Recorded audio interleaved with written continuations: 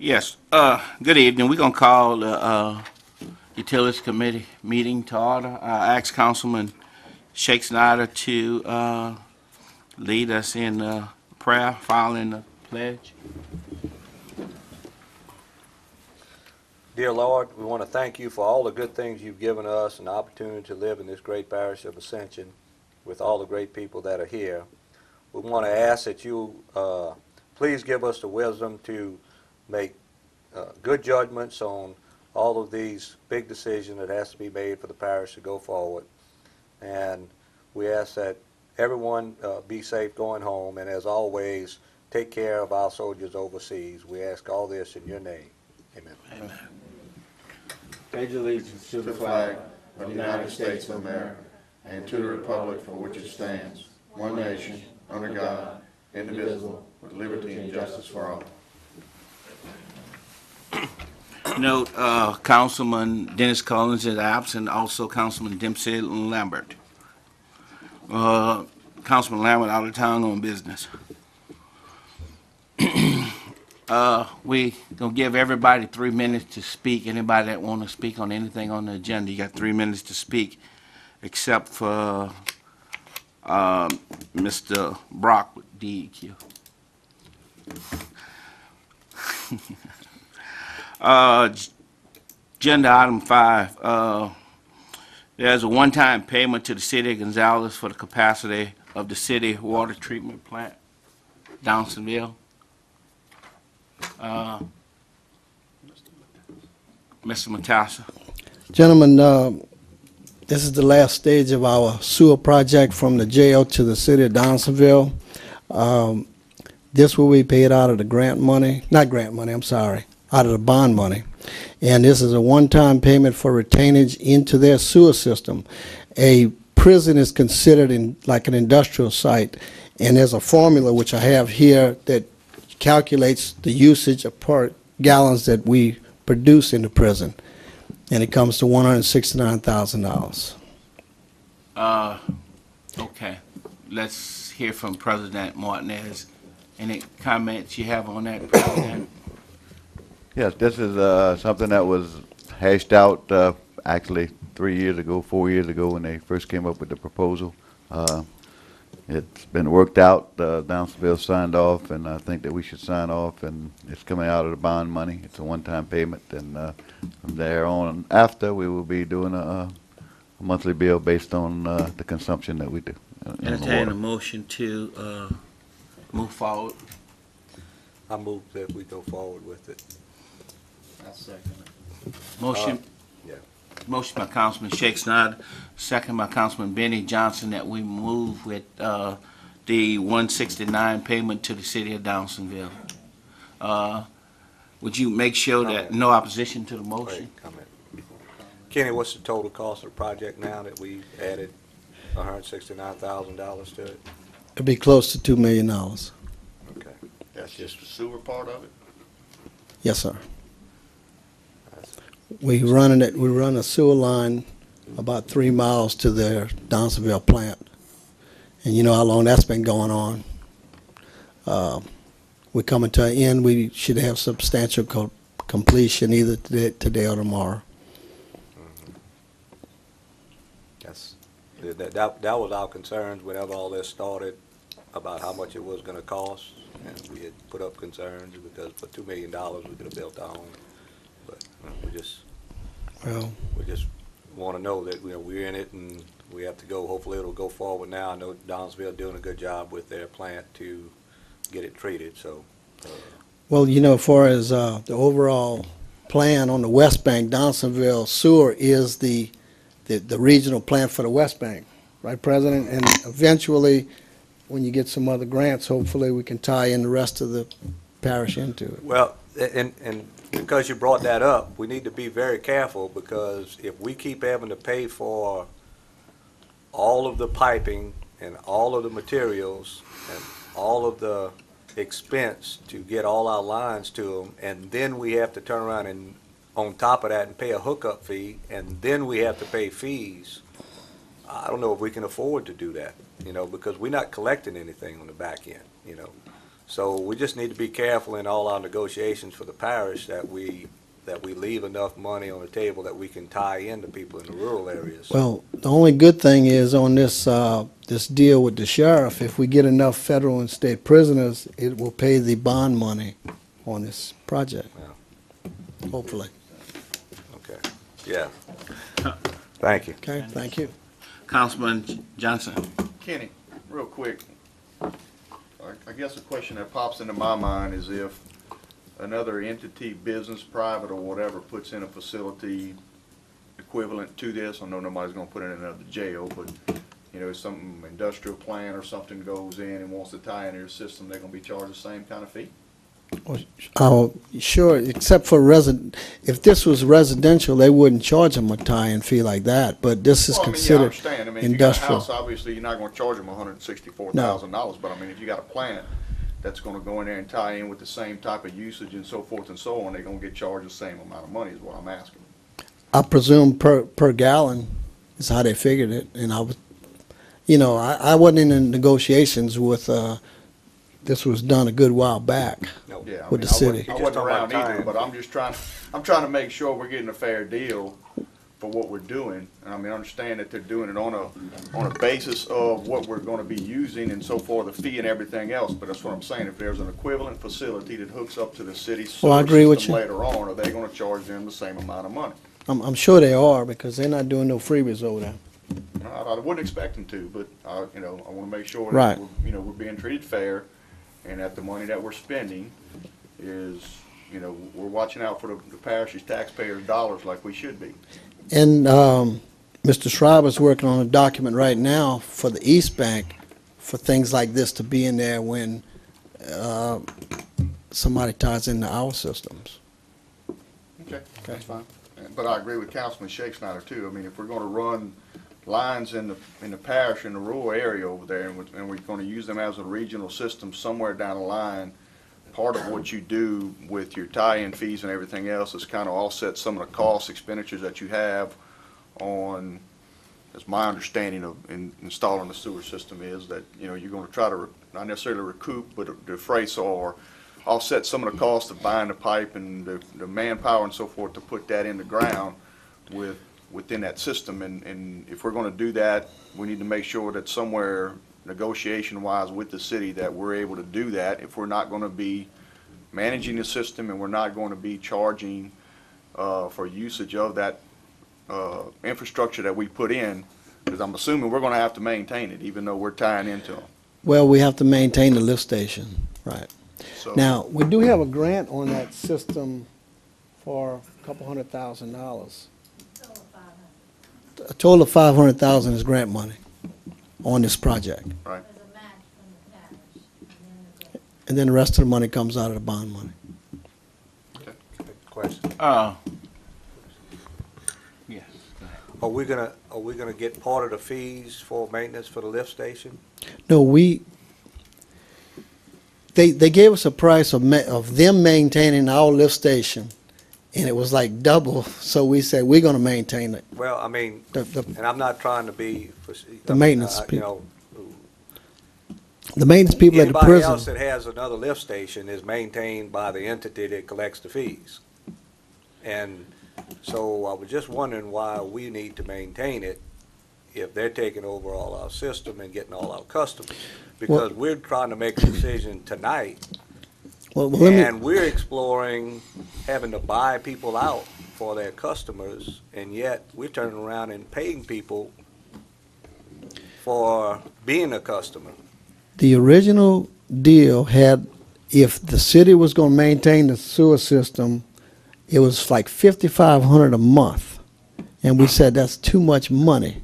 So we, we cut it in half for us to maintain it. That was the original agreement few years back with the city of Donaldsonville. Okay, so we negotiated and we comfortable Right. with what we came up with. Yes, sir. Okay. All right, well, Okay, I'm ready to go thanks. that. President Martinez, are you comfortable with the agreement you have made with the city so far? Well, the city, this agreement was made prior to this administration. All the negotiations had taken place. Cedric went in, solidified them, I think, basically from, uh, you know, with, working with the city and working with the mayor. From what I understand of the whole, uh, situation is that, that we're gonna run a line to their sewer system, okay? We're gonna pay them so much to treat our sewer. Now, any new customers that come online, that's gonna be their customers. And any hookup fees, anything else, any of that stuff, I mean, we're gonna maintain the line from our jail to the city. And just the, and, and as he said, they wanted to charge us X amount to maintain that lift station. But that's not, uh, you know, we don't wanna do that. We got our own, uh, group that can do that. Uh, shouldn't have any problem for the first 10, 15 years anyway. So it shouldn't be any maintenance at all. But basically, that's my understanding. We're only gonna pay for what we use, uh, and we're gonna maintain that, that lift station. But from here on out, uh, the maintenance, you know, when they hook up different customers, if they pick up, say, uh, St. Jude subdivision, which is right behind the jail, which is a possibility, well, that's gonna be the city's customers, and we're not gonna pay to put the line down to hook them up. That'll have to be the city that has to do that. You have two areas in, in that, two areas around the jail that qualify for LCDBG grant money. Are we gonna look at going to build a system? We had, Uh, that uh, was part of the system at the beginning. We had six hundred thousand dollars, I think, CDBG That we let went back. Yeah, well, because it, it cost like one point eight million dollars, and we, uh, we would have to put up, I don't remember, it was gonna be, uh, eight hundred thousand to a million dollars of parish money, which we don't have, uh, to do. And, I mean, we were gonna only serve seventy-five customers, so we were gonna be subsidizing quite a bit. And, yeah, they had money, and there's a couple areas there that, that qualifies, but the city at some point may wanna run lines out there and pick those customers up. And, and we have Mr., uh, we do have Mr. Shaheen here in the, in the off, uh, audience. He, uh, represents the city and, and works with him on the sewer project. I think he was part of this, uh, drafting the plan and, uh, working with the city, and, uh, if he wants to add a little bit to this, and give us his understanding, that, that would be fine with me if it's okay with the chairman. It's okay with me. Okay.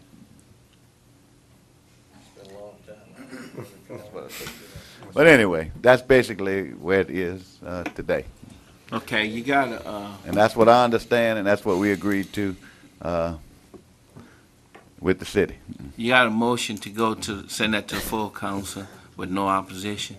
And we may have some more answers for you at that point. Can I make an amendment to that? Yeah. If they decide to bring some other customers on and they have to run it through our lift station, that we get a percentage of that so we can take care of our increased costs. I think that's fair. And that's my concern, is that I know what, from experience we've had, these lift stations that cost us. And, uh, if they're gonna increase the load on that, we just need to be protected, that's all. Okay.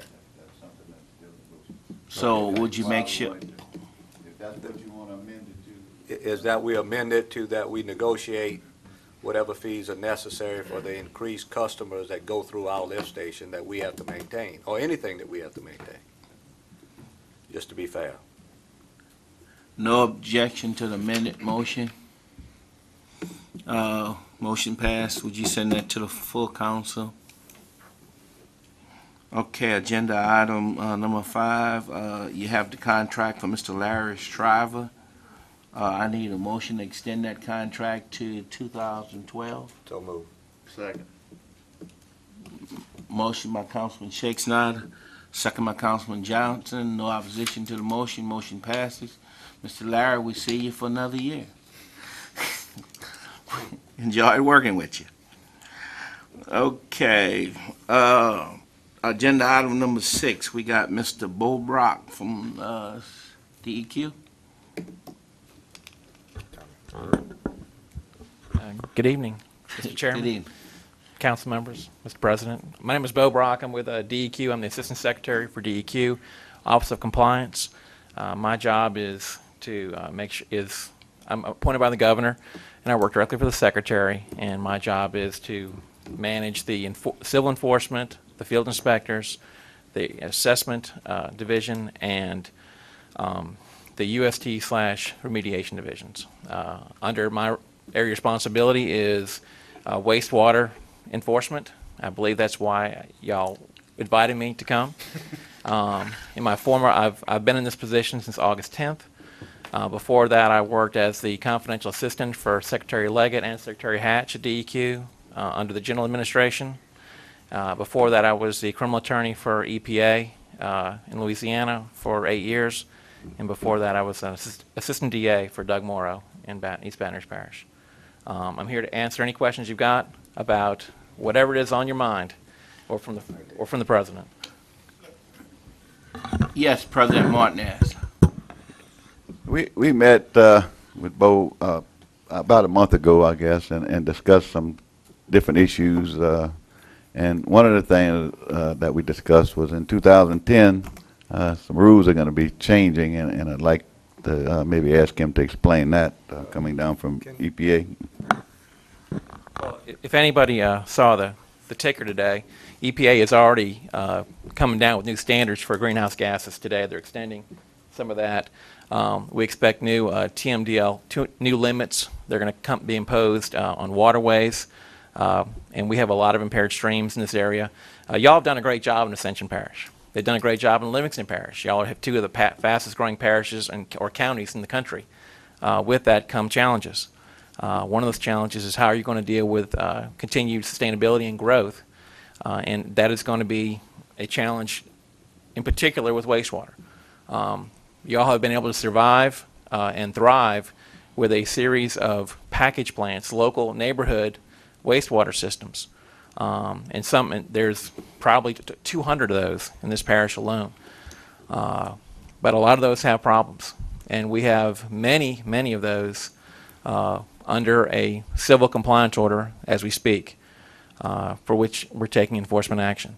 Uh, The same thing is in Livingston Parish. Now, Livingston Parish, in particular, Mayor uh, Jimmy Durbin uh, in Denham, he took the proactive approach of raising fees, and he got some money from loan money, like uh, Mr. Martinez, Mr. Pre- the President Martinez did for y'all, uh, uh, to try to resolve these future challenges that are coming with lower limits, uh, lower and, and diminished areas to to send water, you know, wastewater to receiving streams. Um, and they've done, you know, great work over there. I was at Kenner's uh, council, uh, I was last week, and Kenner decided in the first time in 20 years uh, to raise their sewer user fees. Um, and they were facing a situation uh, uh, because they, they have a municipal-owned system, and what their system was is it was under a compliance order with us. They had lots of um, overflow issues, and if they didn't work out and raise their u- user fees, uh, they were going to be facing a penalty from DEQ. And what Secretary Hatch, my boss, is trying right now is to start a new approach when municipalities own systems and are responsible for them, rather than the old EPA way, and I used to work for EPA, uh, of, of finding communities and then saying, okay, well, extending your schedule to try to get it done, um, and have that money go to the black hole in Washington, D.C. Um, what Secretary Hatch is doing, wherever we're in control of the actions for municipalities, we are trying to convert those, and that, that's, that's just lay parlance, that's not legal parlance, but instead of a penalty situation, if they put together a control um, strategy, a construction plan. Our agency is willing to work with them, and we'd rather the money that you, that, that you devote towards those problems get you into compliance and maintain sustainability and growth for your community. We're doing it in, uh, Lake Charles. Uh, we started that in Lake Charles, we started in Kenner, and we're about to, it's going to be called Operation Phoenix. We're trying to raise communities, and many of which throughout the state, they don't even have a construction schedule. Um, y'all have a y'all have a different type of system here. We all know that, and y'all gonna have to make choices as to what you want to do. Um, the challenges that we're going to come down from EPA, and this I mean this is a this isn't a DEQ position, it's a Bo Brock personal position. The predictions that we made in, in President Martinez's office the other, the last month about wait till after November 2nd. EPA has been, if you've been following EPA, they have been changing dramatically what our ozone standards are going to be. They're doing it not through Congress, but they're doing it through regulatory rulemaking. Uh, they're doing the same thing. You're going to see the same thing on the water side as you're seeing on the air side. And I think already you're seeing the Republicans on the other side, they're already scheduling hearings for EPA come January 2nd when they come in. Um, I don't want to see y'all get in the middle of a war. Y'all are a success story, and we want to help that success story. And if y'all have control of the systems in the area, I can tell you Secretary Hatch wants to put y'all as, and make y'all a model, okay, of her Operation Phoenix plan, where she is going to help communities and make sure the money you're investing in it, whether through user fees, if you can raise those, or bond issue, whatever you decide to do, um, it's going to stay here in Ascension Parish for your citizens. I hope that, did I answer any questions? I'm sorry. Uh, Councilman Sh- Schexnaydre. Bo, I appreciate you coming. We- Yes, sir. Really need it, but uh, we're getting ready to uh, look at investing possibly two, three hundred million dollars in this Right. parish on sewer. Uh, I think it'd be more.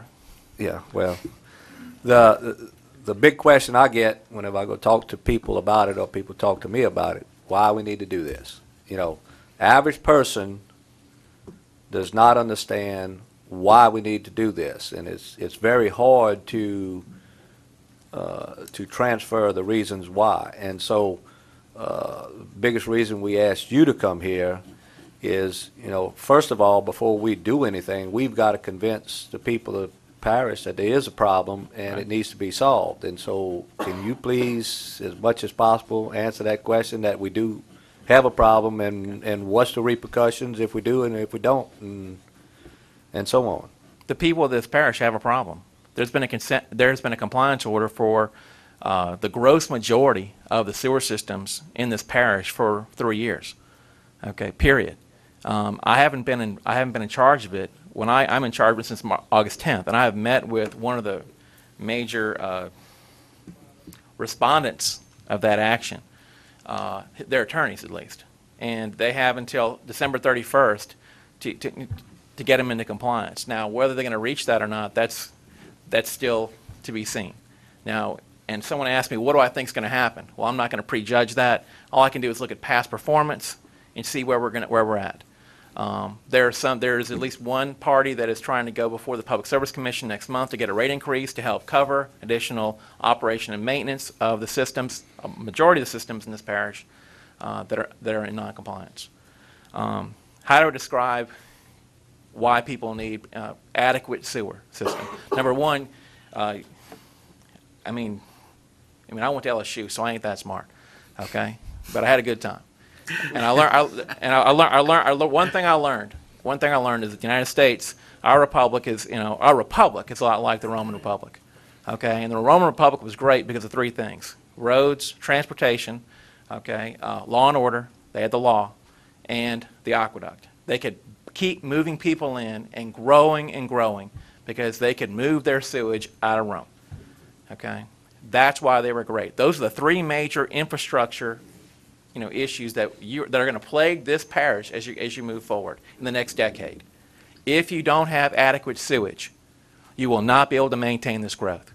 You're, you're, there are some streams, uh, like the Amite River and other places that, you know, in this parish, that run through this parish, that are going to be what's called zero, they're zero discharge uh, receiving streams. That's where EPA is going.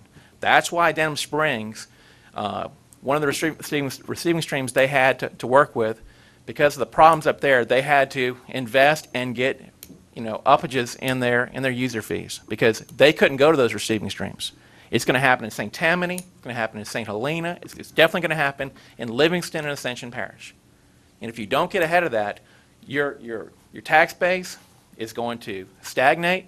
The businesses you want to bring in, any plants along the river, you're not going to be able to add those new users into, uh, into your system. Now, maybe they'll have their own private systems going to the river, which is what we're, you know, we encourage as much as possible. Use the big muddy.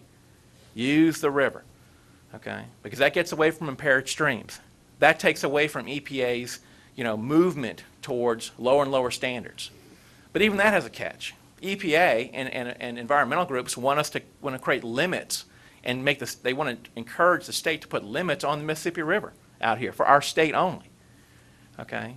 And that, that of course excludes all the, where, where the majority of all the pollutants that go into that river come from, right, Iowa, Minnesota, who feeds the world. We like the world in our energy core, they feed the world. So if you don't have proper sewage and you don't pay for it, and I know Kenner didn't want to, Ken, you think Kenner wanted to raise their user fees? That was six to one on their council for raising sewer user fees. Six to one. If this parish takes over, if this parish takes over those systems and doesn't get into compliance, they're going to be facing draconian EPA, you know, gorilla, you know, in the closet and things like that, um, just like other cities are. Just this year, uh, the United States Environmental Protection Agency and the Department of Justice came after Shreveport. And now they're, they're attacking Shreveport for their, their sewer problems. There are 35 municipalities plus in this state that I have on my desk that have had problems for over a decade. They don't have your tax base. They don't have all the advantages y'all have. And I'm just trying to make sure that those communities are sustainable. That's why Secretary Hatch has that vision to go out there and show them how to create a schedule, how to dedicate the resources they have, how to try to find funding sources that they may not know about, okay, to help solve their problems incrementally. Um, I'm passionate about it because I know this parish is, I want it to continue to be one of our leaders. And I think you can, but you can't do it without sewage. What does zero discharge mean? and Means you can't add any more pizza, Pizza Huts, McDonald's, Taco Bells, um, houses. They'll tell you you can't, they, they won't permit, they will refuse to permit that discharge.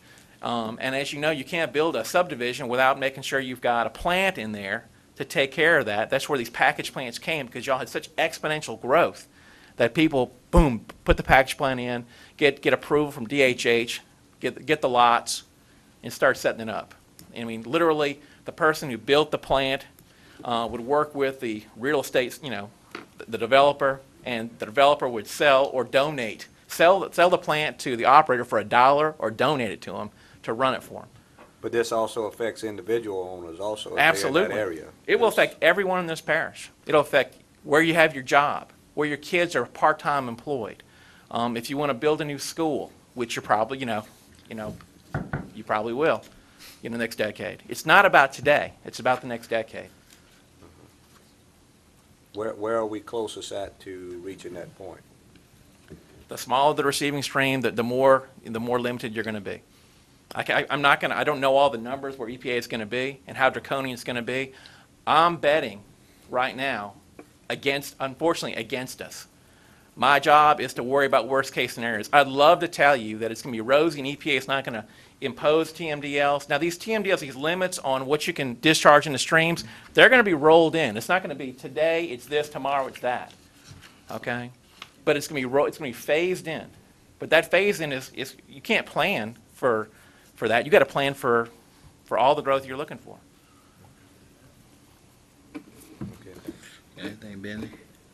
Benny Yeah, I Johnson. guess one of the questions, and you, you kind of covered it, but for the average household, you talked a lot about the package plants on, Right. uh, coming to these subdivisions. My particular situation, I, I got my own MoDad sitting out there, and Mhm. a lot of people in this parish do.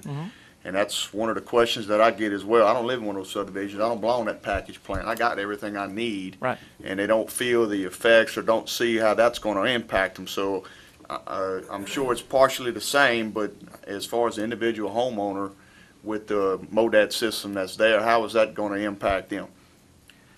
Uh, well, if, if EPA had their way, they'd want us to go after every individual citizen who's got a MODAD who's not properly used, you know, properly putting the treatment in or letting it go and just letting raw sewage run through it and run out into the ditch. Um, we're not going to, I don't think we're going to get to that day in our lifetime. Um, what, what we're trying to do when EPA is encouraging, and that's one of the reasons you're going to see grants, is they're going to try to encourage getting people off that and tying them into existing systems. Because what happens is there's a lifespan of those MODADs, and people have to properly, you know, you, work with it and operate those, those systems, period. And most of the time, what happens is people just quit doing it. Um, even if they were working right, they're not working then. And so it creates a health situation for the rest of the neighborhood. And, it, and if people with individual modads, if you're look, if you talk to a real estate developer and put them up here, they're going to say, if you want to, keep improving the property values in that in that area, I mean, if unless you're living out on a farm and you have your own, you know, big plot like we used to in this parish, you know, 20 years ago, right? Um, you're going to bring down the, the, the value, you know, the resale value of those homes if you're not tied into systems. That's what they're going to tell you. Um, EPA wants us to go after those people, actually. They want to, I mean, it's, it just, you have to understand, oh, I'm sorry, their mindset, and it's a, it's a lose-lose mindset. They want to come down on people and fine them every year and they don't care when you come into compliance. They want, they say they do, but they're not looking for those solutions. At DEQ right now, we're trying to look for the solutions. If we could find ways to tie those people in, because that's what you want for property values. That's where you want to have growth. You want people to move in here. You want to get them off those systems. I'm sorry, you too, you know. Well, yeah, I mean, I'm, I'm part of it. I mean, the whole, so I guess what you're saying is basically the option, or there is no option, eventually it turns into hundred percent compliance. Everybody's in tied into the system. if you don't operate your MODAD properly, you've got raw sewage going into ditches in front of your house. Okay? If five of y'all in your neighborhood aren't, how, how much does that problem, worse does the problem get?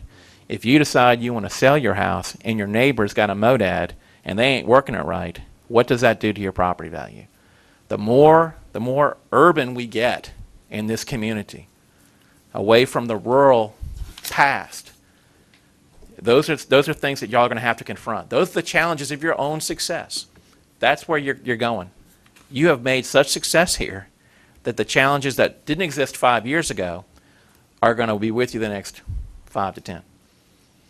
Uh, Some people call it success, other people don't. But, uh, I guess the other question is, if government does nothing, where do we wind up at?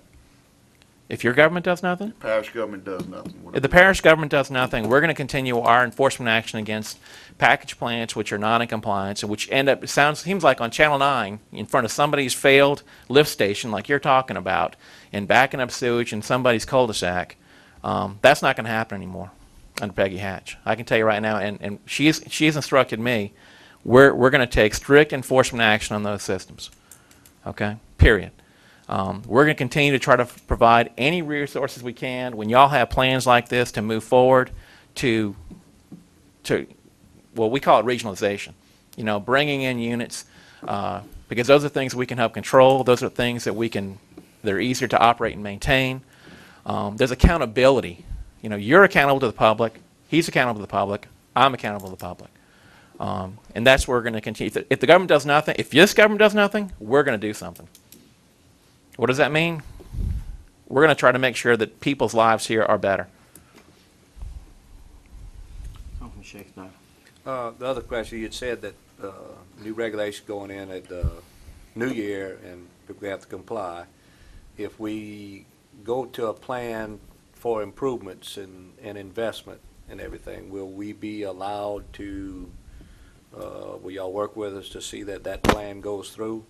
We, we have a lot more flexibility with, with municipalities. So we, we don't have that with, with private with private interests who are in the profit. You know, in, they're ma- trying to make a profit. We don't have that kind of luxury. And let me make it clear: the systems in your parish, the 200 plus, the ones that I have under an order that I'm that I'm not mentioning that order. Okay, they're not in compliance now. They're not. They're not. You know, don't worry about future standards. They're not in compliance now. I'm just trying to get them to code now, so you don't have raw sewage in, in your streets. Okay, that's what I'm worried about. I'm not thinking about the future TMDLs, TMDLs that you have to plan for right now with your construction. Okay, with your, you know, the lowered limits. Okay, you have to plan as you go forward to make sure it's the largest receiving streams possible, so that you can meet those limits easily. So you won't be seeing people from the EPA or the DEQ in the future you know, saying, why didn't you think about this when you had the initial investment? When you go to the public, like you're asking right now, and said, how can we do this? Well, we plan going forward that we're going to get into large receiving streams. We're going to have the proper operation and maintenance set into the schedule. Like y'all just said, who's going to operate and maintain this stuff? How are we going to fund that? That's something you can't think about now. What happened in the 50s and 60s is people, some of these people built fantastic systems a long time ago, and they didn't budget in operation and maintenance. And so they just all went to hell. That's a Latin term, sorry.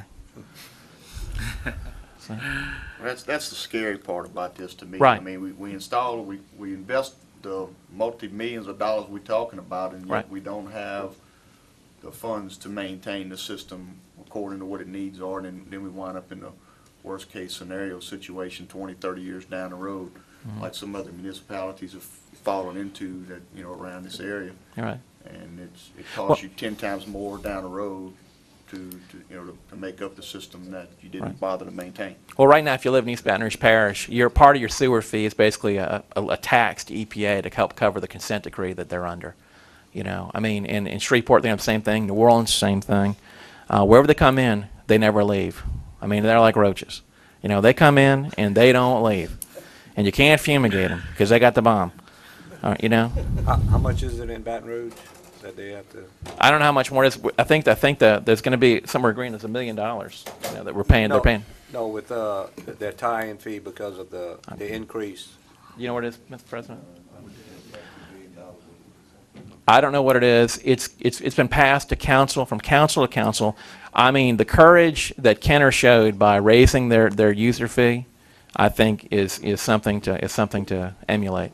It's difficult, but and what they did was, one of the councilmen, uh, and I can't remember the name of the councilman, actually amended the initial proposal to raise the fees to make sure, you know, that it, that all the money stayed in that, stayed in that account. And, and actually, the, the passage of it went that if we raise enough money over the next few years, that, you know, we can amend it at any time to lower the fee back if we know we have enough. It kind of, it gave them that flexibility.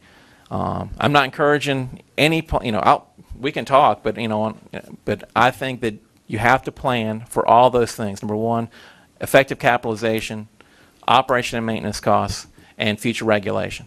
If you plan for those three, you will be successful. And, but as you go through the process, if y'all do anything, we're here to help you. This man has been, has, has done everything he can to lead y'all effectively. Uh, we've met with him over and over, um, and I'm proud that, to be here for y'all because I know that if, you- if, if y'all work, if y'all are working together, we can solve it together. Uh, thank you, Mr. Bo Brock. Uh, thanks for coming. Same, not same cost.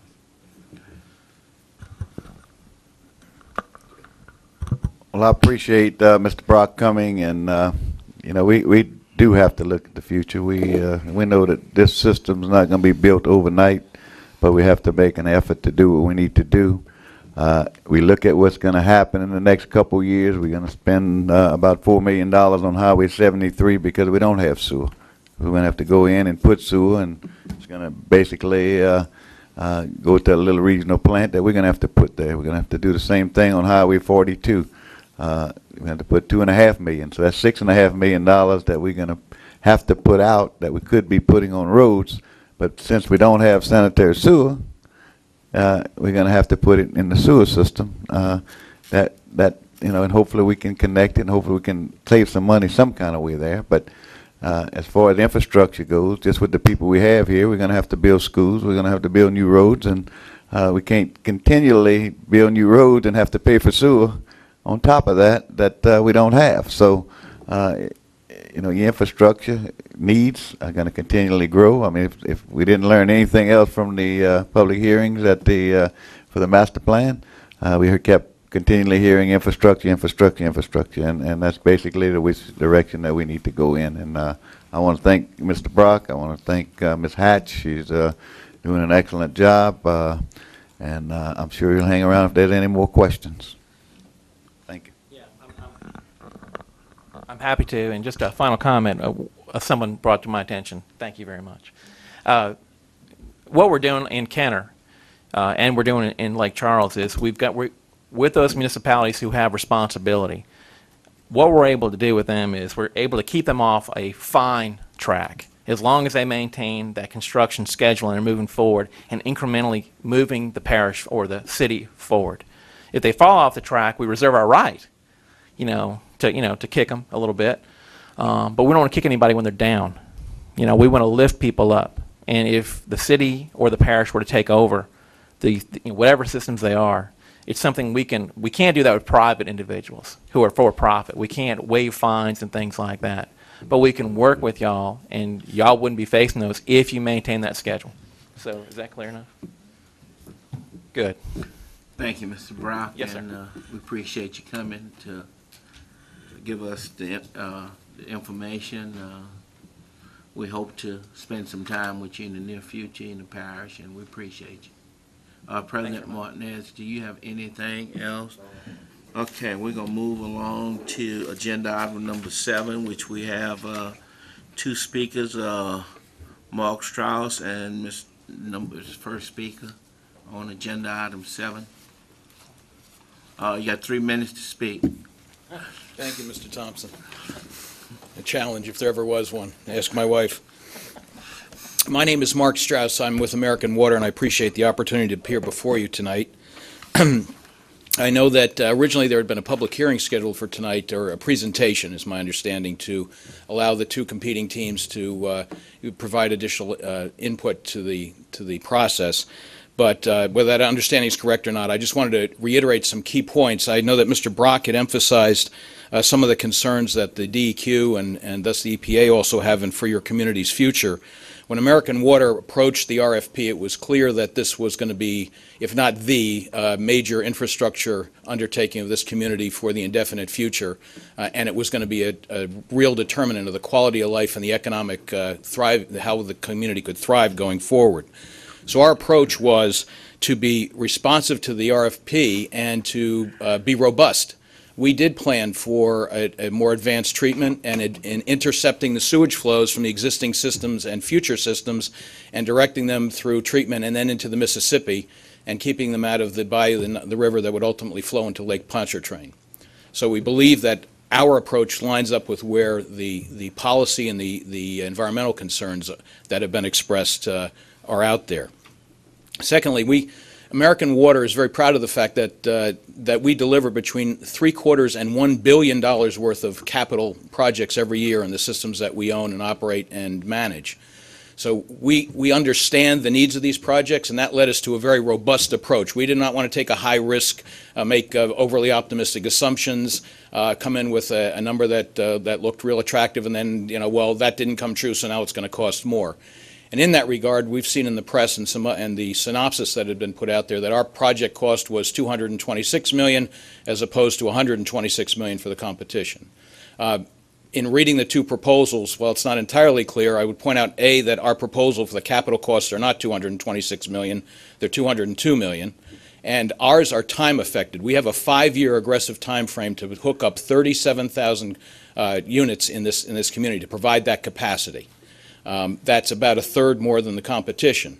So if you take the time effect of the money and you then say, okay, but uh, ours is a third more customers than, than theirs, and you equalize that, there's not a $100 million difference, it's closer to $10 million. Now, again, we didn't not have the opportunity to really delve into the, the, the competing, uh, you know, the assumptions on both of them, but I would urge you that as you make your decision, that you need to consider the, that the apples to apples factor. What are you weighing? What are the assumptions that were made? And this is a start of a process. We, we, while we did put a, what we believe was a very straightforward and robust plan on the table, it was done in response to the RFP. There was no chance for either team, quite frankly, to have that give and take. What areas of the community, uh, we were driven by, where are the people going to be under your master plan? Time, time's up? Okay. Go ahead. Should I continue? Yeah. All right, I'm almost done, I swear. Uh, We, we planned around where you, the community had indicated that it had the current customers and where the future growth was going to be. If the parish feels that there are other areas that you would like to have service provided to, that's the community's decision.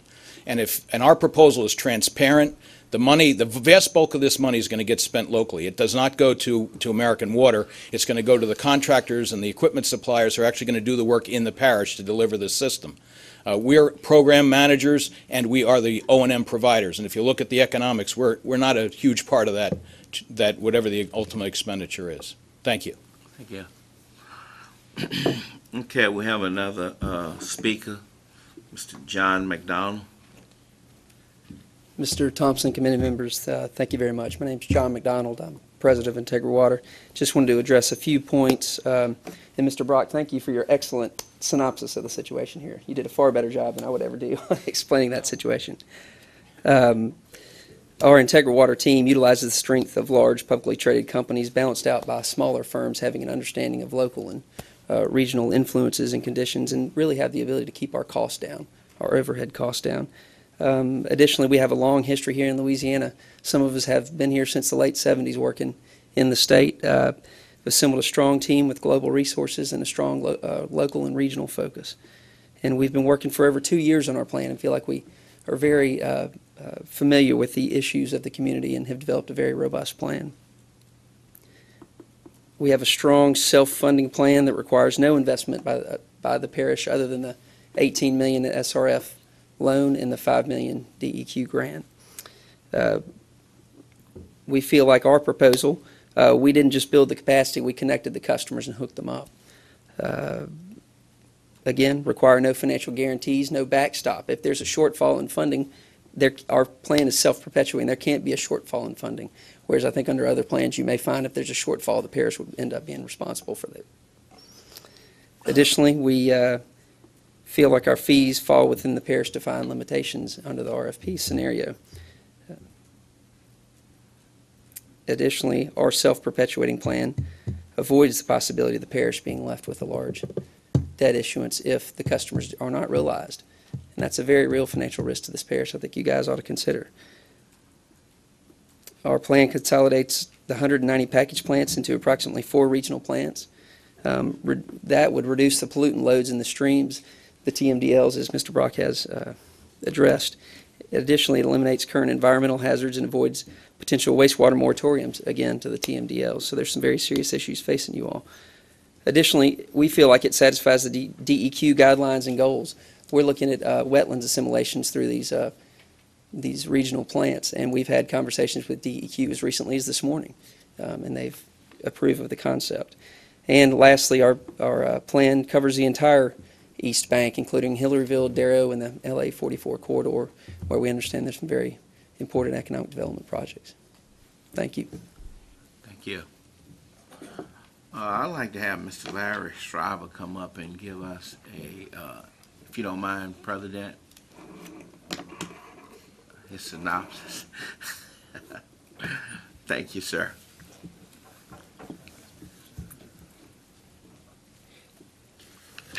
Thank you. I've um, been asked to um, uh, cover the um, uh, high points of the synopsis that was prepared to try to um, uh, cover the major considerations in the proposals.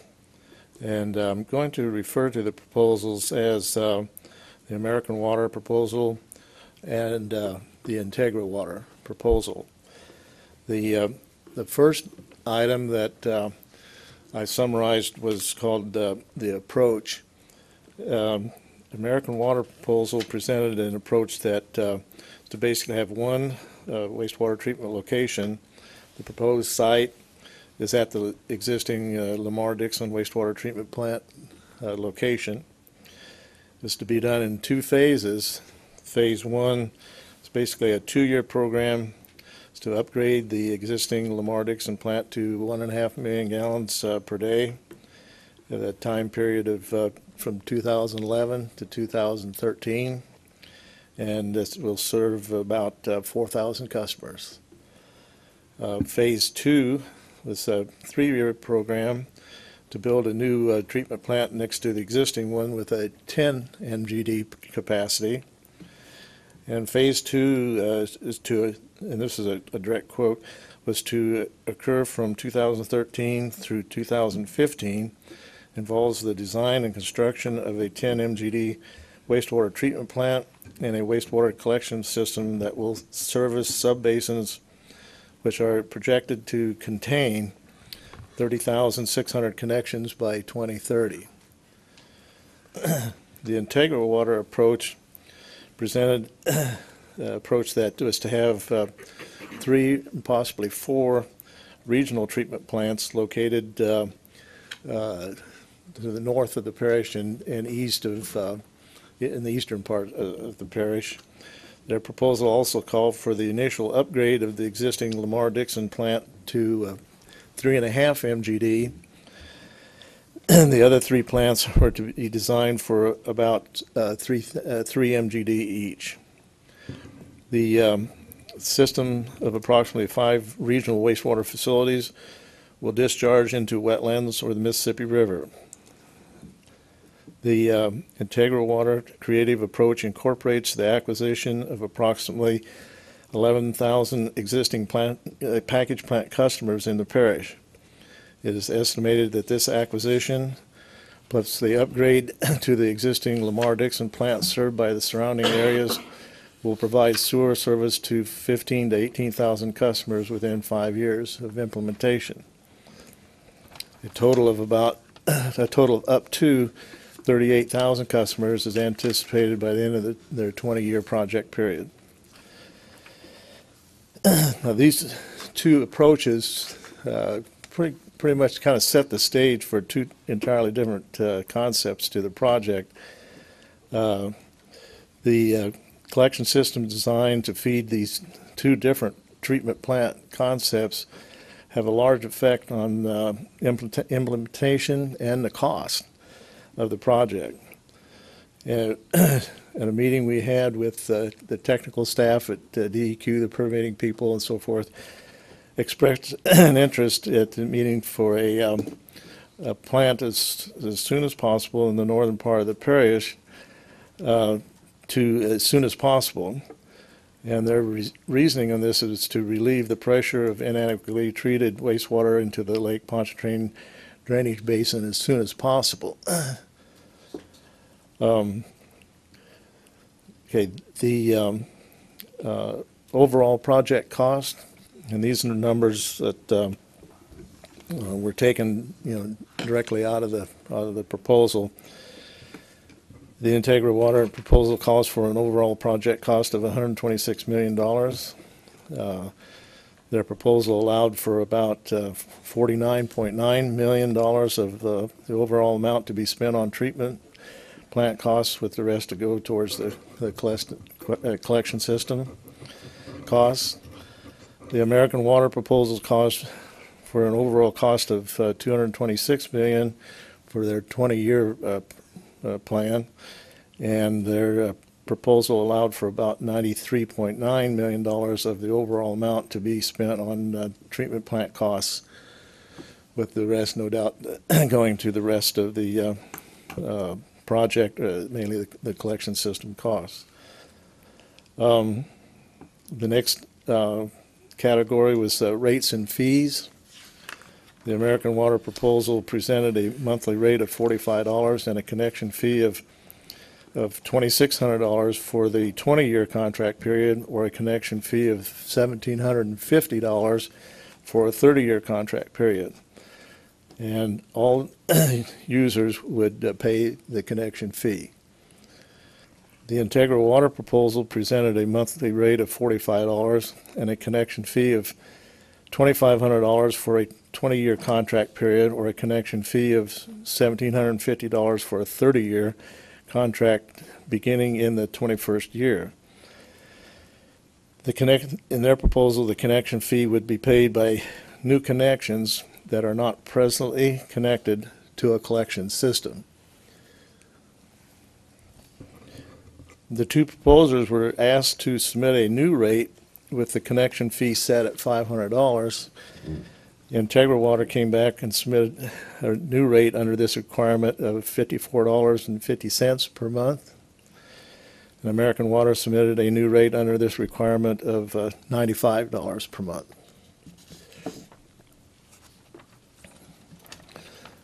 The next category I listed was uh, existing privately owned systems. The original concept for this situation was for the contractor to acquire these systems and deed them back to the parish. And um, this, at at this time, I know neither one of the proposers has a, have a concrete, you know, agreement with uh, any of the privately held systems. But uh, I know both uh, have had contact with them. Uh, American Water, this is a quote uh, from a proposal. The existing private wastewater treatment systems located throughout the parish will be connected to the consolidated parish-wide treatment system at no cost to the project company, that's American Water. Cost related to uh, rights-of-way and servitudes necessary for the routing and placement of facilities are assumed to be borne by the parish. And that was in the cost section on page six of the American Water's proposal. In Integra Water, the existing uh, privately owned systems will be acquired by Integra Water. That was uh, their basic uh, statement. That was on page three of their creative approach section in the Integra Water proposal. The area served, the Integra Water proposal shows the entire parish uh, would be served. And the American Water proposal shows that the areas served would be the areas connected during phase one and two of their project. And phase three of their project is not included in their proposal, uh, or in their scope at the present time. And this, is on page twenty-five, technical, uh, section of their uh, proposal. And there's a map that is attached to, to the synopsis, uh, in the back that, that shows the, uh, the areas that, uh, are included and those that are not. Um, The next, uh, area that, uh, was summarized was the specific contract, uh, requirements. And American Water had, construction costs uh, provided in the capital improvements plan are order of magnitude estimates. Uh, Final project costs will depend on actual labor and materials costs, actual site conditions, productivity, con- competitive market conditions, the final project scope and schedule, engineering design, and other variable factors. As a result, final project costs will vary from the estimates presented. That was in the cost section, page five of the American Water proposal. American, during the, uh, we had uh, verbal presentations from, uh, from each of the uh, proposers, and um, during, on on September 14th, uh, 2010, and American Water stated that their engineering level was approximately 10 to 15 percent complete. They also stated that the engineering level would be, have to be at least 30 percent complete before an accurate, accurate enough cost estimate could be made. And this level would have to be reached before American Water and Table Rock uh, Financial uh, could enter into the uh, project. Um, And also, the, the, um, the- the project company, here, here again, American Water, uh, this was a direct quote also from the uh, proposal, was not prepared to undertake the delivery of Phase One alone in the absence of a commitment by the parish to execute on Phase Two. In the event that the parish does not proceed with Phase Two, the project company will need to be reimbursed its verifiable expenses pursuant to a schedule to be agreed to by the parish prior to contract execution. That's on uh, page 12 of the cost uh, section of the American Water proposal. Integra Water, uh, the, uh, quoted as, as requested in the RFP, Integra Water proposes a contract term of 20 years in lieu of the uh, 10 and 15-year contract terms we offer an early termination provision exercisable at any point after the 10th anniversary of the contract. The early termination provision would allow termination of the contract for a fee equal to the number of years left on the contract term multiplied by the management fee for the preceding 12 months. And uh, that uh, concludes uh, the, uh, the by synopsis, and uh, there are, the pro- the- each proposal contains other things, but I felt that these were probably some of the more significant ones. And uh, uh, that concludes my presentation. Thank you. Uh, President Martinez, you have a comment? We comment? had, uh, we have two other participants that, uh, in the selection committee, uh, Matt's here from uh, Jones Walker and Kenny Faraci here from Manchac.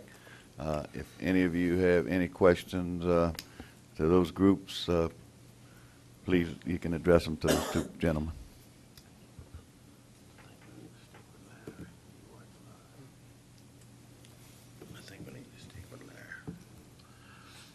Okay, you have anything, Councilman Schexnaydre? Yeah, I mean, I've got my questions. Uh, We'll see.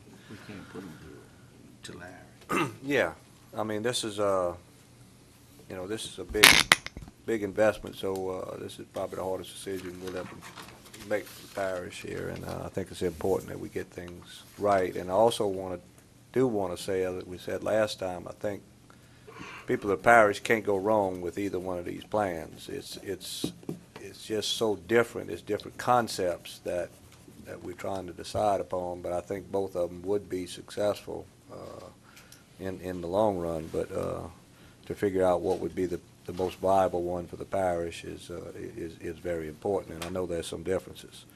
Um, and, and Larry, hopefully you can answer all these, if not, then we can go to Sure. on, on American Water, and I, I I can, I've got a few of them I can start with, then we can ask the other ones. Uh, the, the cost for below the area on I-10, that's not included. Is there a cost that was provided for there, or can somebody? Uh, This area that's not included? Yeah, Um, I presume not, because, um, you know, it, in, in their proposal, in their phase three, which, uh, uh, they said was, um, to be, uh, something that was to be considered for the future, and, but was not included in the scope of, uh, of this project. I understand, but I mean, they can tell us what they want to And I, I don't think it's really fair to ask, you know, ask you all of these questions. Uh, you know, Some of these gonna be, have to be answered. Uh, Mark, can I ask you a couple things directly while? Absolutely, sir. In response to the question you just raised? Yeah, well, well, a- and, uh, you know, I'm, I'm councilman in the area below I ten. And, and one of the things that we're very concerned about is getting, um, sewer to that area, and that's in phase three with no cost on that. Uh, how can we use a comparison when that's not included? What- Well, We didn't include the collection system for that. That's, that's literally true. We did size the system so that it could take in flows ultimately from that part. So w- it's not like we, si- the, the backbone collection, and, and we also allowed some treatment capacity. And what would that cost be to do a collection system for that area? We'd probably have to, I don't know if we, we could, um, as I stand here now, I could not tell you. We could Okay. probably work that up, and I'm sure we have it in our notes. But our approach was, given the, we went where the, the population was either currently the densest, or- but if the municipality, if the parish says, look, I'd rather sewer this area than another, I understand. you can shift it around. We were trying to address what the RFP had posited. Uh, and then to tie in individuals, when you do your system, the individuals be required to tie in as they come through, as, as your As the system comes through? expands and becomes available to their, to their homes, if it's, if they're on an on-lot system like a MODAD, would literally be when the pipe ran in front of their house. Okay. And- Um, if it was a current and then package plant. We don't know what that tie-in fee is gonna be, so we won't even get into that. That'll be. Uh, uh, One of the concerns I have is the capital conve- uh, uh, investment that's gonna be early on, you know, in your plan naturally, uh, because you're doing a larger plant going to an area and encompassing it. So when, uh, and as compared to the amount of consumers that come on, uh, it, it makes for a chance of, a, a greater chance of that investment working out or not if you, if you have less customers. Uh, You know, what kind of chance, what, what kind of chance is the parish taking here?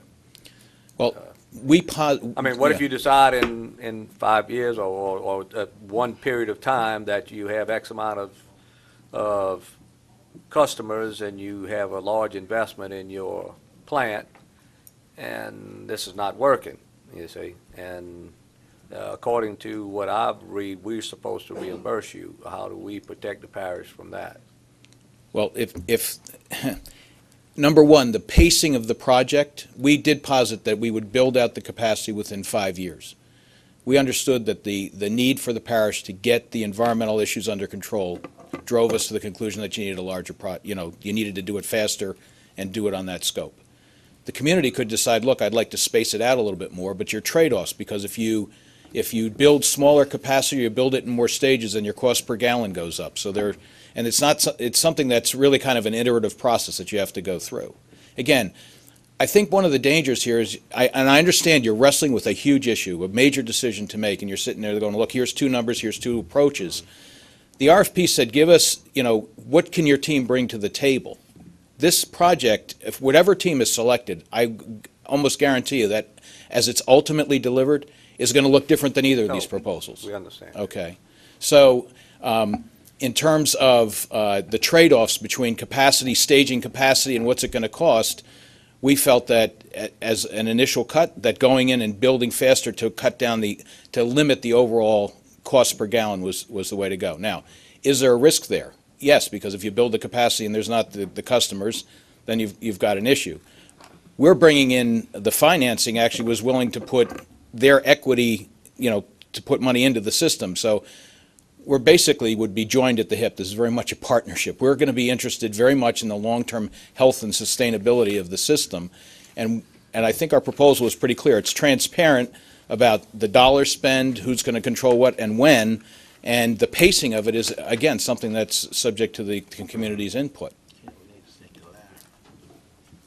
Well, I just want to get the answers here.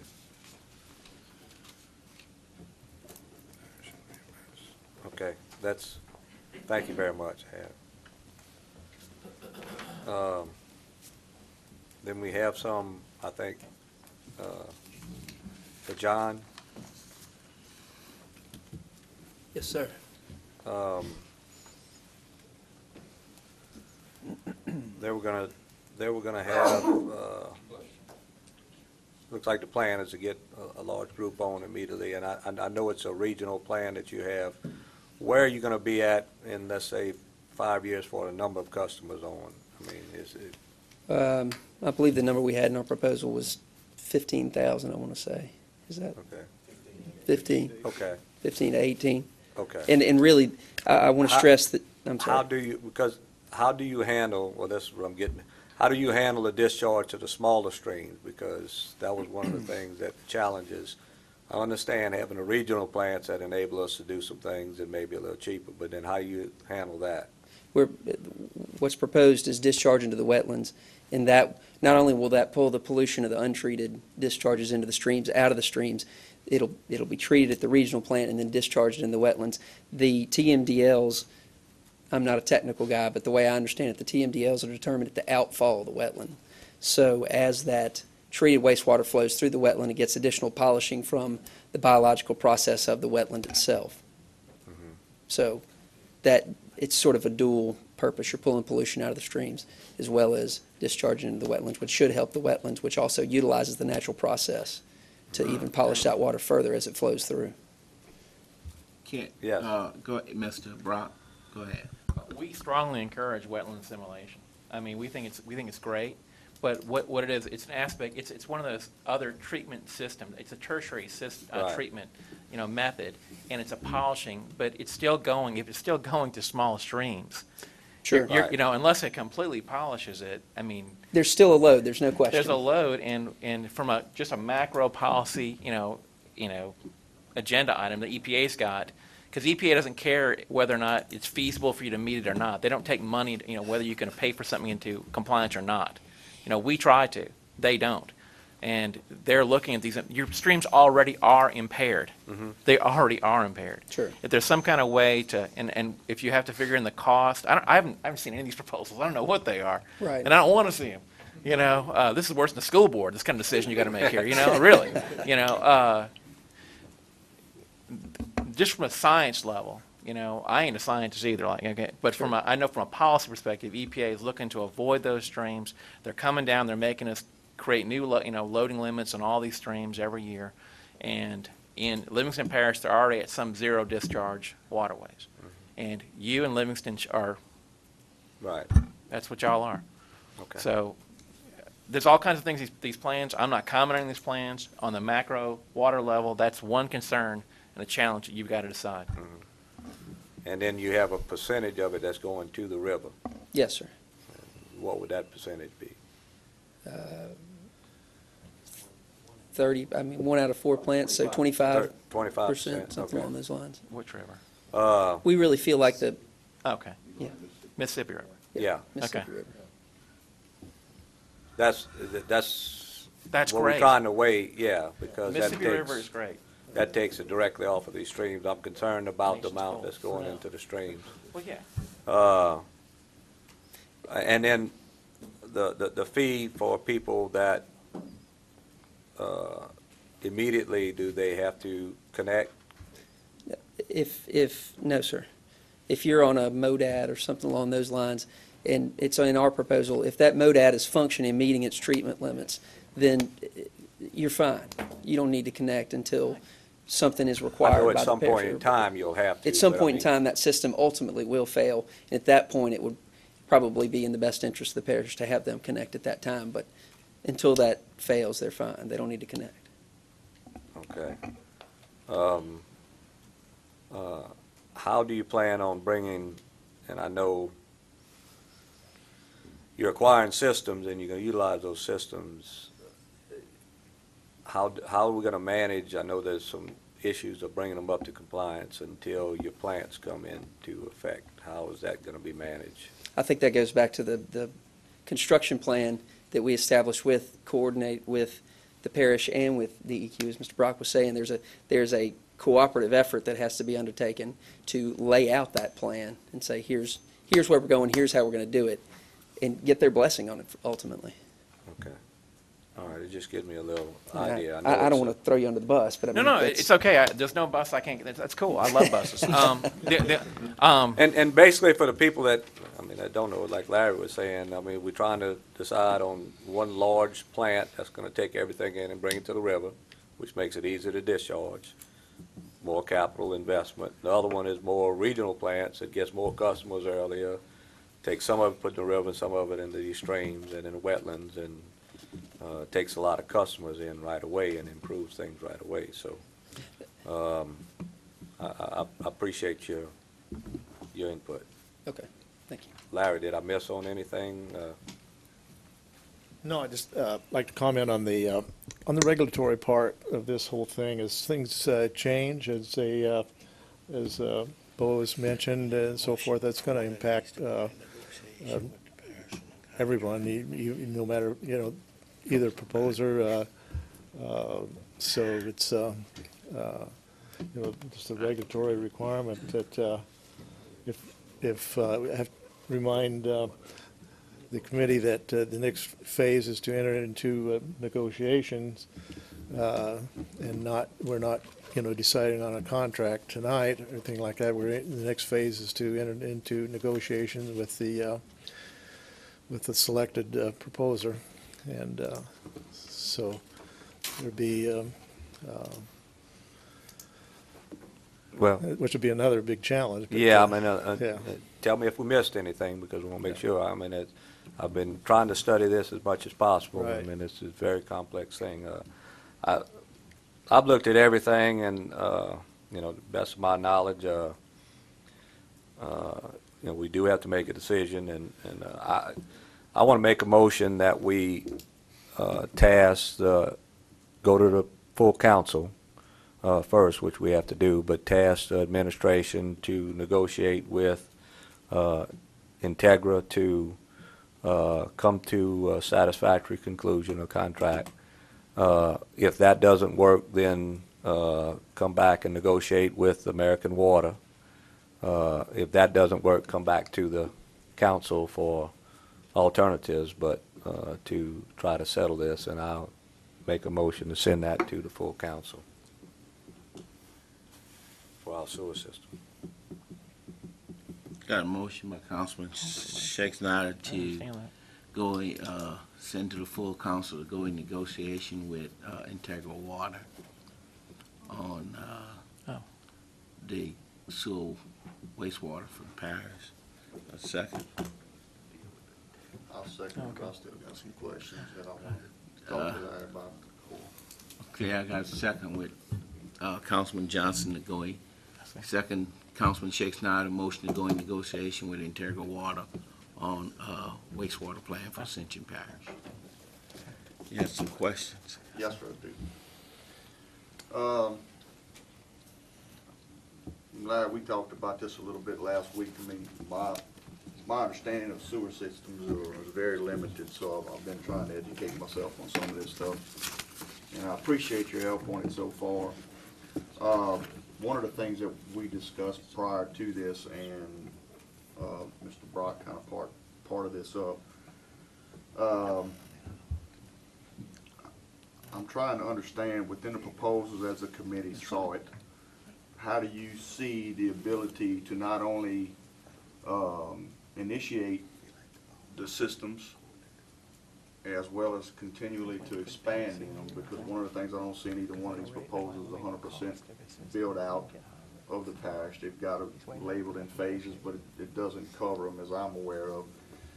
Uh, But while this is going on, how, with the funding that's in it, do we have enough money to completely build out as well as repair, maintain, operational costs, upgrades and things like that as time goes on? Because I mean, we're, one of the things that I'm trying to wrap my head around with this thing is that this is a twenty to thirty, possibly even forty-year project that we're, we're entering into from initial phase to build out. And one of my concerns that I have with this is that, uh, just like what we talked about earlier, it's kind of tough to get into this system and we don't have everything, all of our ducks in a row. Right. Uh, you know, are we gonna need some kind of supplemental funding to go along with the fees and everything else that's in this? Uh, trying to compare apples to apples within the two proposals or within the two companies to basically say which one is the better one that we need to look at to actually start off negotiations with. I don't know that I've completely, uh, settled on that yet because they're two totally different proposals, but yet the proposals aren't necessarily what we're, it's a guide for us. Yeah. But essentially, when we go into negotiations with either one of these companies, my understanding is that we pick and choose what we want and say, this is how we want this system to go. Are you willing to go that route with us? Or do we wind up starting this system on our own? So I mean, as far as, but as far as maintaining and doing what we're talking, what I'm talking about now, with starting at the beginning and going through build out, do we have the resources financially to take care of that? Or what are we gonna need for that? Well, I think to begin with, that's, I've, uh, was, uh, pro, uh, uh, user base oriented, I guess, uh, from the start, uh, and, uh, uh, to develop, uh, uh, a really obvious, uh, uh, and sustainable, uh, revenue source. And in the rates, though, Councilman, uh, I agree with uh, Mr. Brock. Uh, it's From my experience in other uh, governmental agencies, and I've actually done this before, where I developed user fees and, uh, and I had uh, set aside for uh, uh, repair and, uh, and replacement. And several years ago, I know the city of Alexandria, I had in the budget, you know, quite a bit of money for, it to be put aside for repair and replacement. And over about a four-year period, there was a pretty good little nest egg, uh, million and a half, uh, two million dollars built up for repair and replacement, and usually say a twenty-year replacement cost, uh, for a twenty-year replacement period for a treatment system. In twenty years, we're gonna have a lot of money, you know, over twenty million bucks in, in this fund. Well, it wasn't dedicated, so the Nixon administration that came along stole the money and, and did something else with it. And so it's gonna have, there's gonna have to be, uh, things in place to, to guarantee that the operation is one thing, something you mentioned, repair and replacement is another thing that's gonna be, have to be a, uh, a category, you know, in, in the, in the structure in order for uh, things to be successful uh, in, into the future. One, one of the other things that was brought out through one of the, pa- the programs was about the wetlands, uh, assimilation. Who owns the wetlands, or what, what's our obligation into where that stream goes into the wetlands at? I know that, uh, that has come up. I really do not have, uh, uh, the concrete answer for that. If, uh, I don't know, uh, uh, if the wetlands are, are privately owned then, uh, is what you're saying? Uh, Well, I mean, We we're don't- gonna run a pipe out into somebody's backyard and just let No. this thing go. Yeah. Um, um, I would presume there would have to be a servitude. uh, That's fine.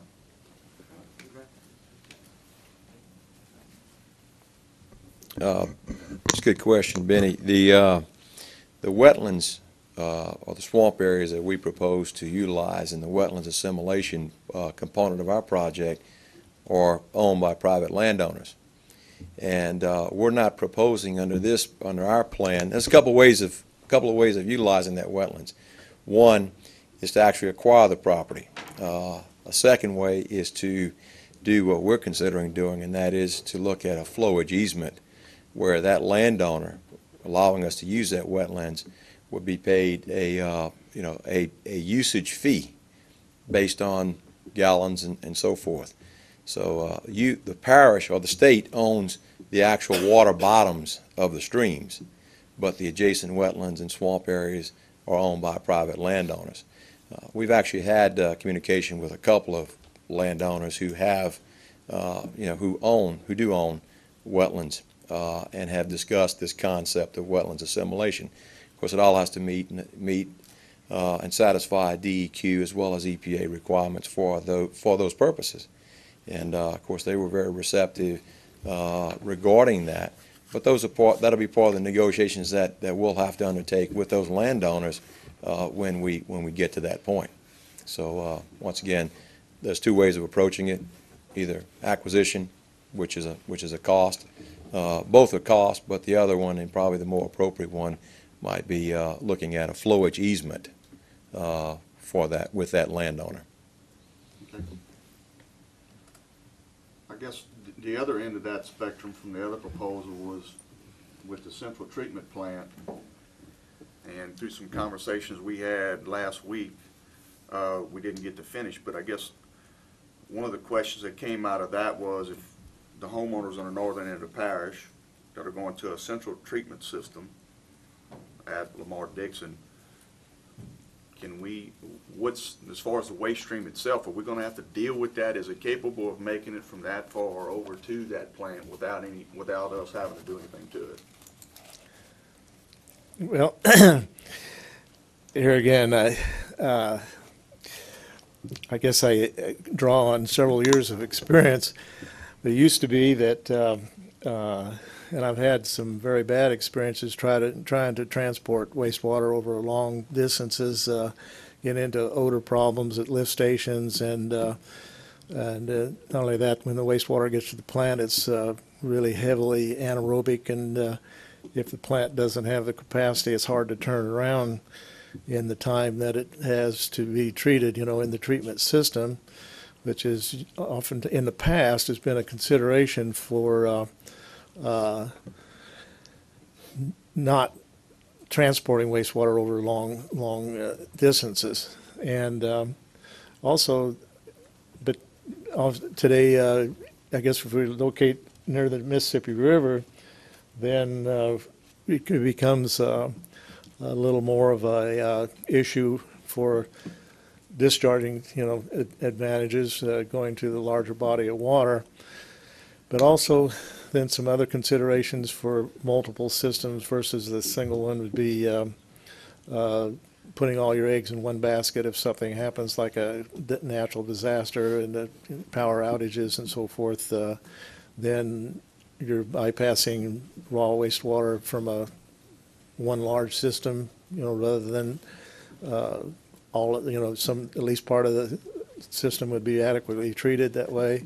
So there are, are several considerations uh, for both ways, but uh, if, if the regulatory uh, uh, uh, issue, you know, in long range down, down the road is that the Mississippi River would be the way to go, then, in fact, I believe Integra Water did address that in, uh, in their proposal, that it was, uh, I think it was described as a second generation, uh, very possibility. In other words, that, uh, that would be uh, something that might be, need to be looked at down the road, because I think they were aware of uh, the benefits of discharging to um, a larger body of water. But uh, uh,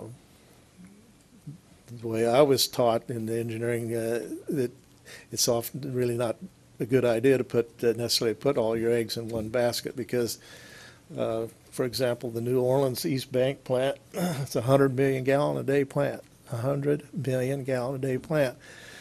And I, and just to replace a valve, they have to have a crane come in and, and, uh, replace a valve. It's actually a big project, you know, to, to, to carry out. And, uh, it just, uh, so there are several things to, to think about in, uh, in choosing the alternatives.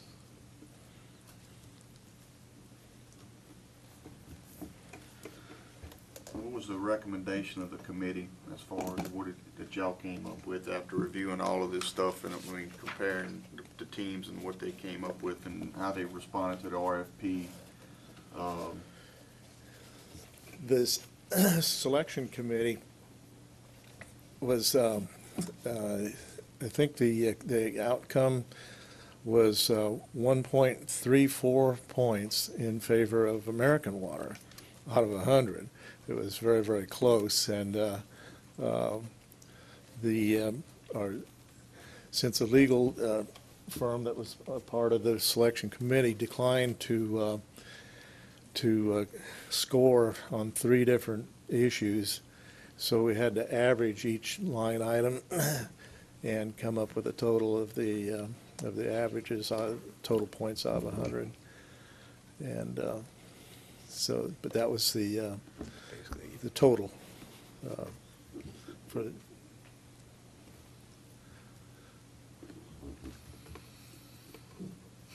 I know there's some other questions out there right now, I can't think of them. Um,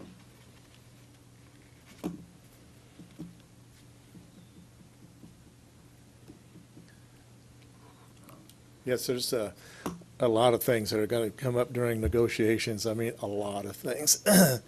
We haven't talked a lot about right-of-way, for example. uh, uh, and I know both proposers stated that they were going to use existing right-of-ways whenever possible, and, and that's, uh, should be done. But uh, I think the day we talked, we were looking at a map, and you said, uh, what about all these little, little streets I see over here with, we're gonna have to go down something like, say, Roddy Road and go, you know, cl- pick up people on both sides. You can imagine uh, Yeah, I mean, that, that's a the big concern. situation. I So mean, there's gonna be a lot of There's a lot negotiation, of roads believe that we me. don't have right-of-ways on. and Yeah. That's addition, I mean, so if you look at either one of these plans, I mean, uh, you know, Yeah. we can Be a lot of look at negotiation. Nickels and dimes as far as trying to get it to where we can compare apples to apples and see what the real cost of it is, but that doesn't come into affect the cost of our right-of-way that we're gonna have to purchase in order to put these lines down. It's not even in there. I mean, we're talking millions of dollars already, uh, and using state right-of-way on forty-two and seventy-three. And Yeah. we get on some of these parish roads where we don't have that right-of-way. Yeah. Uh, I know just for a short portion of a road that's in my district that we're per- currently working to widen that road right now. We're to around 1.3, 1.6 million dollars for a little over a mile of roadway for right-of-way. And I mean, we're talking thousands of, you know, hundreds of miles, you know, uh, it's mind-boggling to me. I mean, I, it's, that's why I'm con- very concerned with the cost on this project and the time frame we're dealing with here and, and trying to wrap my mind around that kind of a figure, that's, that's a tough pill to swallow. I mean, not trying to shirk any responsibility. I'll stand up with everybody else and make a decision. Somewhere, we gotta do it, but Yeah, and we're talking a couple hundred million dollars estimated on a project, and we're talking at least that much more for right-of-way acquisition.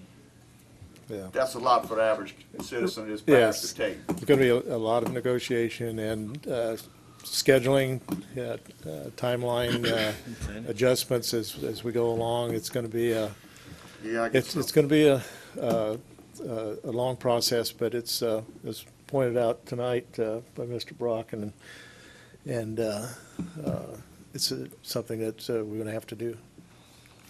Well, you got a, you got a motion in the second, uh, to go to the full council, to go into negotiation with Integra Water and Do we put a time frame on this, or what do we, as far as the negotiation part of this? Uh, they, Well, it, it- it's gotta go to the council first Oh. before they tell them whether they can negotiate even. I mean, we just sent it to the council, right?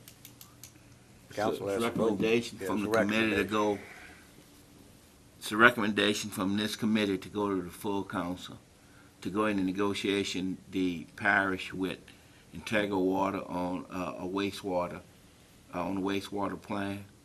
Uh, President Martinez, you look like you have something to say. We got, we got a couple issues. Uh, basically, one is that, uh, you know, we got a DEQ loan that we waiting on, and, uh, I guess they're waiting on us also to make some decisions. We've, we've set a date, uh, uh, with the bond commission. I guess the first order of business is gonna be to go back to DEQ and, uh, sit down with those folks and, uh, see if we can get some sort of extension, because it doesn't look like we're gonna be able to meet the deadline that we put upon ourselves at this point. Uh, so that's one issue. The What's other, the deadline that we have to meet to go? well, we were, we were hoping to go, uh, to, to the December, uh, November, December bond commission meeting. Uh, And, uh, you know, that's gonna be an issue, so we're gonna have to go and meet with them. Uh, we certainly don't wanna lose the opportunity of having eighteen million. Of course, we don't want you to make a rash decision either. So we're kinda in a, in a situation here. So I'll have to, hopefully before the council meeting, uh, I can meet with, uh, the, cor- the proper folks at DQ and, and maybe have an answer there. Uh, and if we go forward, or when we go forward with the loan, we, the- one of the first order of business is we're gonna have to adopt a rate fee schedule. So, you know, those are a couple of things that, we gotta get from point A to point B. And, uh, if we're gonna do this, we're gonna certainly need this, this low interest money. So, uh, couple, couple issues to, to, to talk about, and, uh, hopefully I can maybe have some answers for you at the, at the council meeting on this. Well, would you this put point. that on the agenda, uh, of the council meeting to discuss, Mm-hmm. uh, going forward? And, uh, I guess we can talk about the rates. You, you guys, Not we yet, go not that until route, they I guess. I negotiate. You can't go borrow money and not have a rate schedule, Well, and you not have have a have way a to rate pay it back, schedule. and a Right. plan, so, you know, we're not, we're not there yet, so that's kinda where, where, I guess part of the question that comes to mind with that, with either one, either way we go, I would assume that we're going to acquire these privatized systems within the parish, or at least majority of them, or they're gonna be handed to us one way or the other.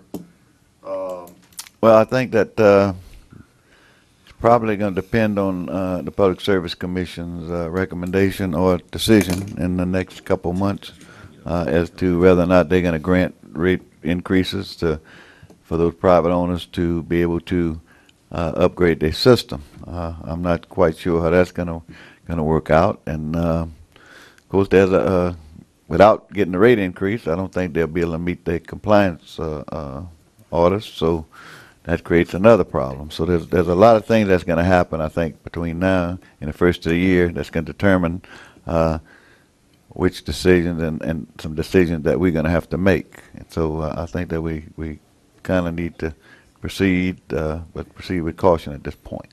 well, President, didn't we talked about, didn't we talk about the rate increase months ago, uh, about, the rate increase, about the user fees a couple months ago that I thought we was moving forward with? Mm-hmm. That's why we were selecting the team? Right, but the, the user fees are set at forty-five dollars in, in the, in the, uh, proposal, but the council hasn't adopted that. We have five, uh, sewer, uh, plants now and, uh, systems that we are utilizing, and the user fee is thirty dollars. I thought So, we, uh, I thought we Oh. had a, we, we we authorized this to, to go up to forty-five dollars. it's gonna be a parish-wide, I mean, it's not gonna be just on, on the new money, it's gonna be on all, I mean, you Okay, so that's something we have to adopt. Can, can you at the, at the next meeting, in order to expedite this as much as possible, give us a list of things that we need to do legislative-wise? Right. To move forward. There's a, there's a And- series of ordinances you'll have to pass also. And, so. and that way, we can kind of be uh, in, in the process of doing these as we go forward, so that we don't, If you've got a series of ordinances that we're gonna have to pass with introductions and everything else, that'll never make it for that. No, not, not for that, but in the negotiation process, no. I can have the rate fees and all that, but the, the, the key is to, to see what, uh, what we can negotiate with DQ as far as extending, uh, our possibility, and I think Ms. Hatch and DQ will work with us, and, uh, And we can put a rate fee schedule that goes into effect at a certain Right. time. It Right. doesn't have to start right now. right, you don't have to start now, no. Right, and that's, that's what I'd like to see, so that we can have something realistic over a period of time that we can adopt, uh, that would take into account as these, uh, these things come online. Gentlemen, uh, President Martinez has Mr. Schreiber working on a uh, document right now for the utility committee to look Right. at, and it has a blank in it where it says uh, fees. So we want to adopt everything at one time for. If we for- need to call a special meeting to adopt these fees, we We're we waiting for will. you to select a company Uh, first. as soon uh, as you get Mr. it Chairman. together, notify me and we'll call a special meeting. Uh, And- forward. we, we need to move forward. Right. Okay, you know, we've been playing with Sue a long time, Oh, and I, it's time to move. You're preaching to the choir, so, Okay, so- not a problem. Uh, the recommendation to go to full council, go in negotiation with Integra for the parish to go in, the- in the negotiation with Integra Water. Uh, that need to go to the full council, recommendation from the committee. And by any chance they can't come up with agreement, we need to go look at the other company. Okay. I'll ask the question again, how long of a time are we gonna give the, the, the, well, how long of time do you want to negotiate with that? I guess my particular question team? is, Or what are we looking at? negotiated the forty-five dollars. The main thing we looking at negotiating and, and coming back with some sort of program is the hookup fee.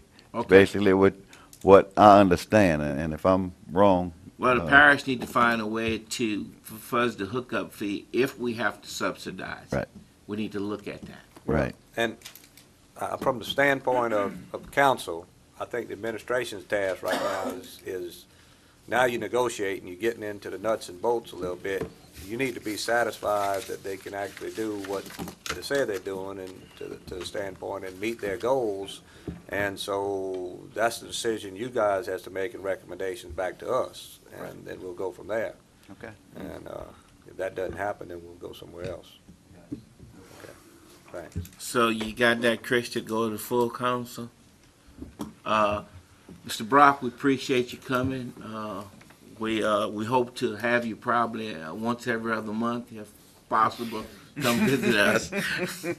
Just give us an update to make sure we don't get in trouble. No, uh, thank y'all very much for inviting me. I, it's always a pleasure to come. Uh, and I speak too much. I apologize for that. It's okay. But uh, I, I'm, I'm, it's, it's a big decision, and y'all had a lot of good questions. I really appreciated hearing those questions. And thanks again. Uh, thank you, uh, Mr. Larry, for all the hard work he did, uh, and the committee. Uh, we're just, we're looking at moving forward. So I'd like to entertain a motion to adjourn. I second. You voted, it was voted, it's already voted. Wasn't no opposition to it. Motion to adjourn. Move to adjourn. Second. Moved by Councilman Shakespeare, second by Councilman Johnson, adjourn.